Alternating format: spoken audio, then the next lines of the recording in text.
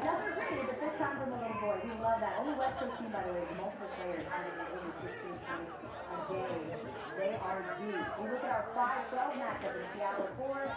Our 4-13 matchup is going to be the Texas Longhorns taking on the East Carolina Pirates. You see Texas there with Vic Schaefer.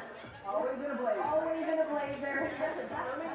Hasn't come off yet. It's come off yet. And we're on the Big 12 defensive player of the year. Yes!